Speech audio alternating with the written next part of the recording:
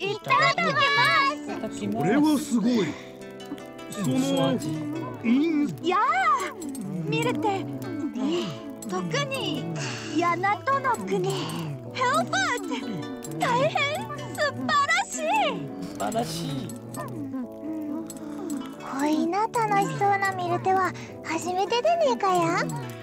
でもなほいためにはいつかは麓の良さケイラネートだでここの誰一人望んできたわけじゃねえんだし。そうであるな。海丸に至っては麓の世のことすらもろくに知らぬうちにこちらに来てしまったのだ。この島に閉じ込め育てるのはあまりに忍びない。雨の浮き橋が再びかかりさえすれば返せるのじゃがあれは神々にとってもはるか昔。初代カムヒツキ様にしか扱うことができなんだ代物と聞く。今では幻のごとく消えたり現れたりを繰り返すのみじゃ。もうたまじわしの母上も元は人。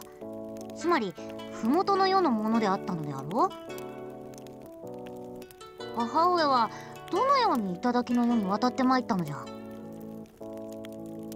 お母上豊花様は雨の浮き橋でなくおひい様が今お使いになられている羽衣の力で二つ世の境を越えられたそうです。なんとこの羽衣が！てっきり岩に刺したり敵を振り回すためのものとばかり。あ？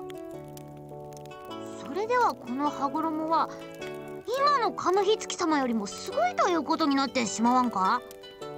どうもニョビ。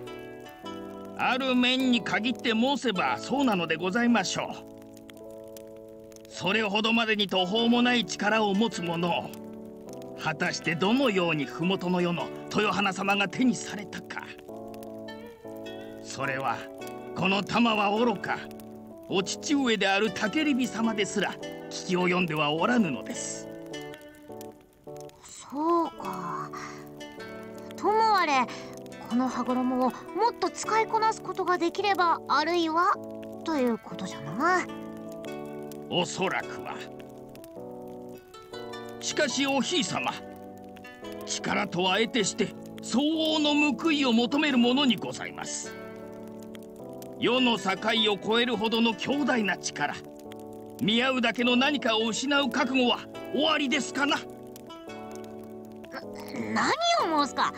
危ないのは嫌じゃ。では今はやはりカムヒツキ様より賜った命を果たしお許しを得ることといたしましょう。さすれば再び橋がかかった時にいち早くお教えいただけるやもしれませぬ